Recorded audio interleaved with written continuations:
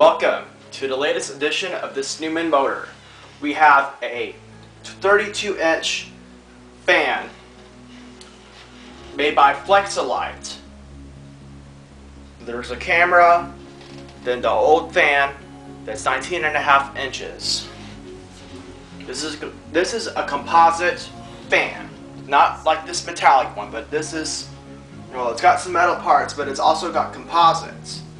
Now, the voltage we have on no load, just resistance, is 144 volt volts. Okay, 144 volts.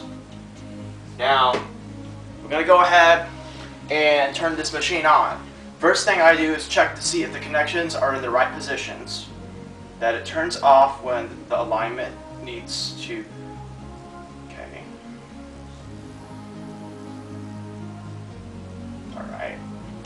Now I'm going to switch this prong to the other one. And.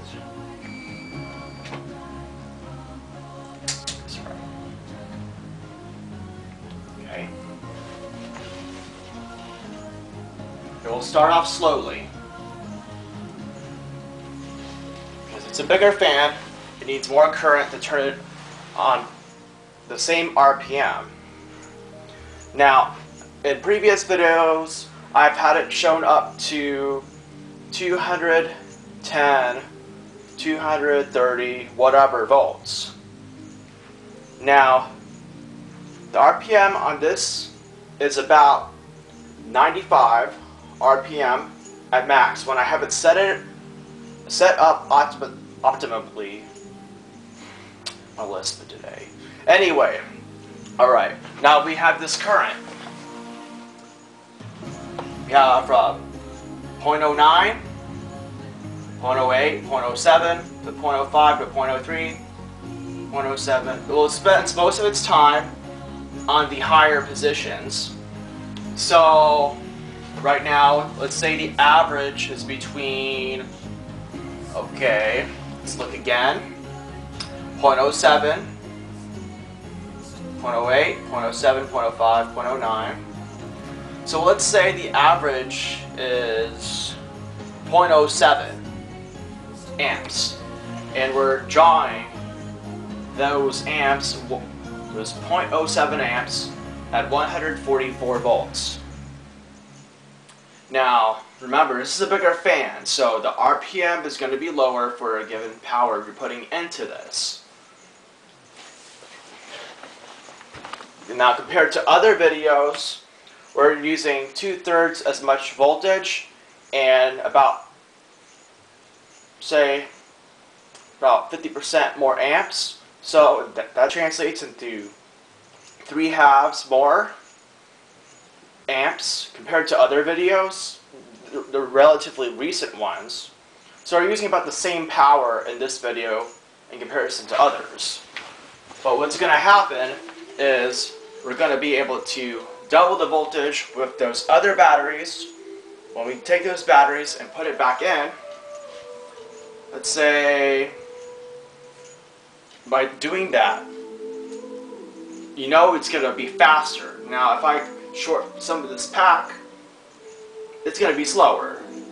That's because we're going to, if we use fewer batteries, it's going to be slower. Now, say if I do this,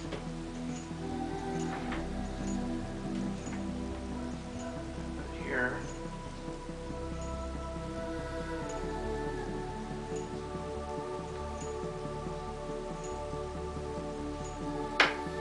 obviously it looked like it was going to stop, but it didn't. Now, we see that it's slower because we're using less of the pack. Well, guess how much current we're using? We're actually using more current. We're going from 0.09 to 0.12, 0.9, 0.11. Okay.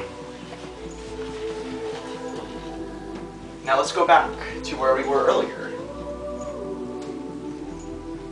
So,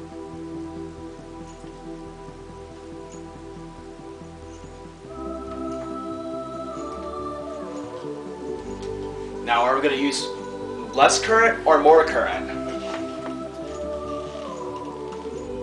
As we can see, we're using less, less current, going from 0.05 to 0.06, etc. All right. So apparently, this machine is underpowered in terms of voltage. You can certainly use more voltage to speed it up because right now the frequency of this fan is it's not high enough to account for all the uh,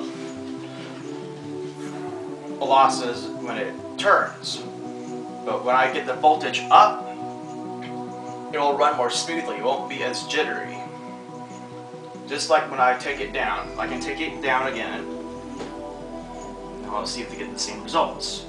If they're repeatable, I should get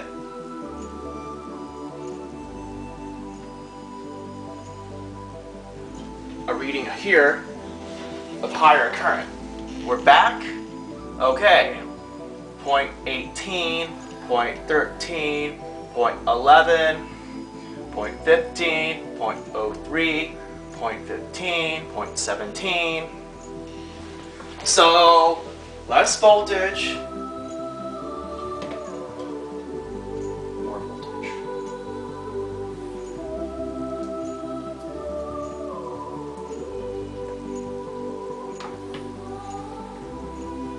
All right, back to this again.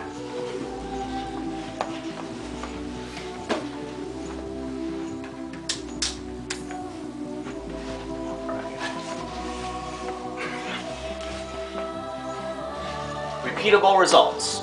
We still have lower current, 0.06. Alright, so part of the video, of this video, okay, I contradicted myself. Earlier I said that if I was going to add more voltage later on, the current would have to go up to match uh, whatever torque.